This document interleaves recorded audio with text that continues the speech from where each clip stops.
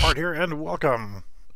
Okay, so this is just something that I was just kind of screwing around with here as a side thing for my regular project. And this was targeted towards just to see if um, the YouTube channel Evelyn, or Evan and Katelyn, excuse me, uh, would be interested in something like this. So, once it's extracted, just double click on ENK and this is very early. This is like a couple hour build just to kind of see if they had some interest in it.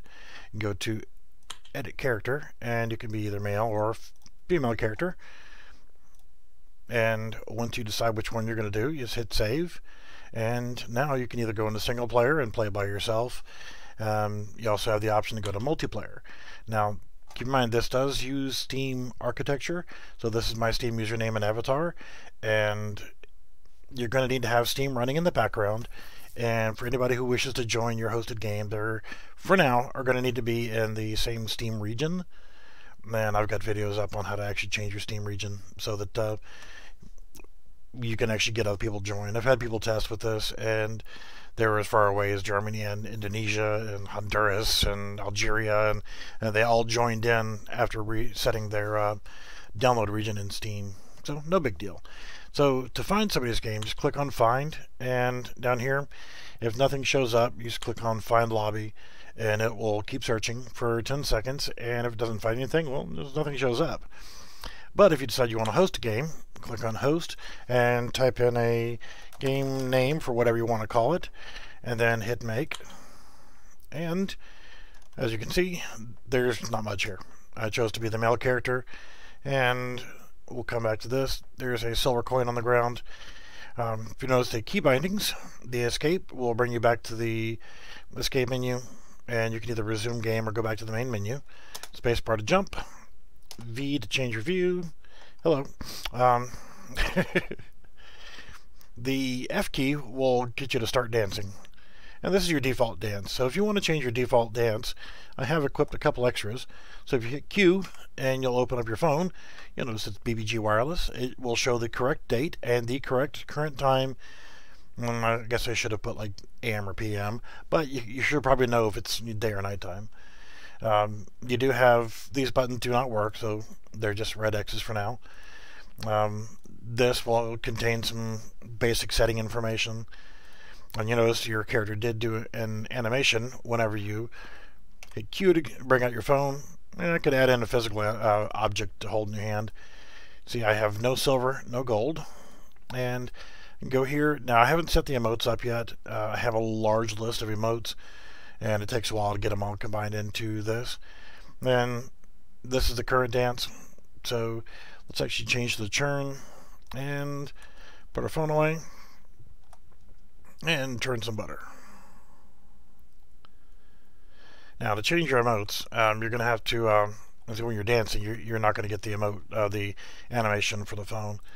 But go back over here and do that. Close your phone and start dancing again.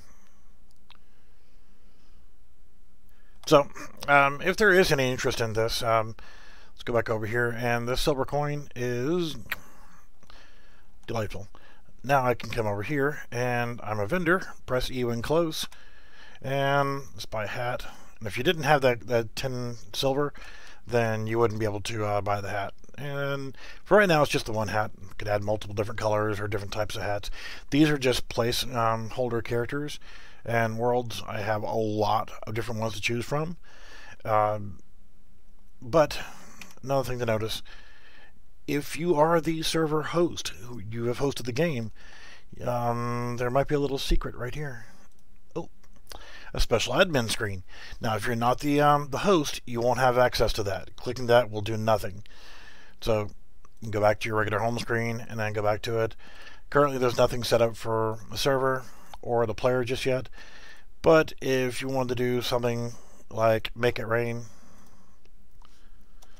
um, it's raining silver coins.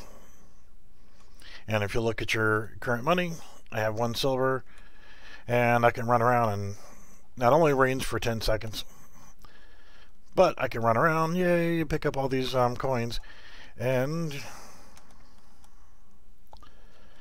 now I have 49 silver. So that's that for now. Um, I do have another side project that is I will show in a video here shortly. Um, but hit escape, go back to the main menu, and you can exit game. Now your character, if I decide that I'm going to edit my character and be a female and hit save, and then go into the game, it's just going to go into the same map. You can see I'm a female character now. Um, there are some things that I'm going to be doing that um, stuff like buying a hat. Every time you come in here, you're gonna you're gonna be set back to zero money wise. But if I go back to the main menu and exit the game, it does create a save game for your player model. So every time you load the game now, you're going to return back to your actual um, character you selected. Alright, so the point of it is like an after stream fun game where the current version of this project that I'm working on is called Stream Party, and I will show that in another video uh, of two different versions that I'm working on just to kind of test things out back and forth to get an idea of what Stream Party actually is. So stay tuned, check back, and I'll have another video uh, soon about Stream Party. But the whole point is to get people together, have fun, social hangout. Um, if I need to put a chat in, okay. But um, I plan on having the ability to run Discord. I mean, I can run a voice server on this or a chat server, but with Discord, you can actually take care of all that on your own. So, thanks for watching, and let me know if you have any interest in this, and check in on the other videos for a Stream Party, both versions, and we'll see you soon.